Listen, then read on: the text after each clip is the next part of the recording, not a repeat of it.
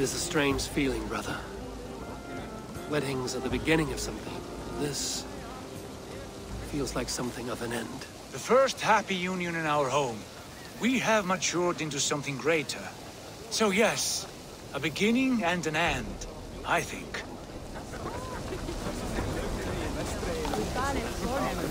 How are the marriage customs in your country, Hytham?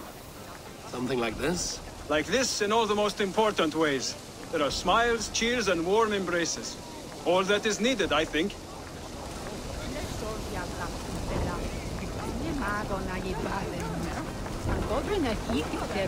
like it.